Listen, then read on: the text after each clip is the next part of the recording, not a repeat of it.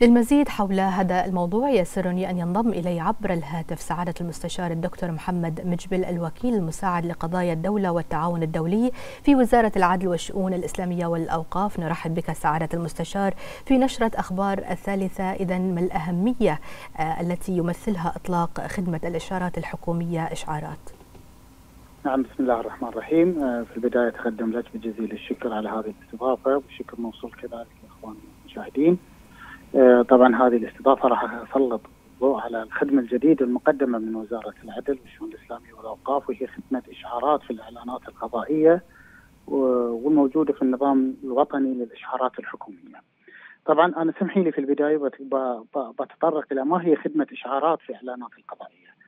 خدمة إشعارات في الإعلانات القضائية هي خدمة مقدمة من وزارة العدل والشؤون الإسلامية والأوقاف وبالتعاون مع هيئة المعلومات والحكومة الإلكترونية تهدف هذه الخدمة إلى تعزيز تيسير إجراءات التقاضي ورفع كفاءة الخدمات وتسهيل الإجراءات الحكومية والمواصلة في تطوير الأنظمة.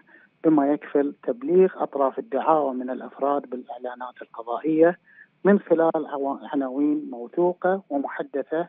وطبعا هذه الخدمة راح تقدم اعتبارا من شهر يناير 25 لا شك أن هذه الخطوة اللي هي خدمة إشعارات في الإعلانات القضائية هي خطوة تأتي في إطار استكمال التحول الإلكتروني في جميع إعلانات المحاكم عبر استخدام قاعدة البيانات التي منصة البوابة الوطنية لمملكة البحرين من خلال النظام الوطني للإشعارات الحكومية والمتاح على البوابة الوطنية ل Bahrain dot BH.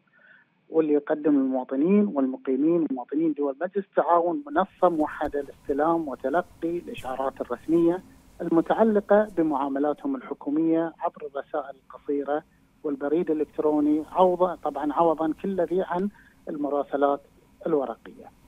وعليه طبعا وزارة العدل تحث جميع المحامين والأفراد المتقاضين إلى ضرورة التسجيل في النظام الوطني للإشعارات الحكومية المتوفر لهم على البوابه الوطنيه لمملكة البحرين والمبادرة بتحديث بياناتهم في حال حصول أي تغيير عليها لأن هذا سيتم اعتماده كعناوين اتصال رئيسية آه واللي هي المسجلة في هذه المنصة فتعتبر أساسا في الإعلانات القضائية. لذلك ندعو الجميع إلى ضرورة من المتقاضين طبعا المحامين والأفراد إلى تحديث هذه البيانات حتى يمكن أن يتم الوصول أو توصيل لهم الإشعارات من خلال الإعلانات القضائية عبر النظام الإلكتروني. نعم سعادة المستشار ما أبرز أهداف إطلاق هذه الخدمة في ظل عملية التحول الرقمي التي تشهدها مختلف الوزارات في مملكة البحرين لا سيما وزارة العدل والشؤون الإسلامية والأوقاف.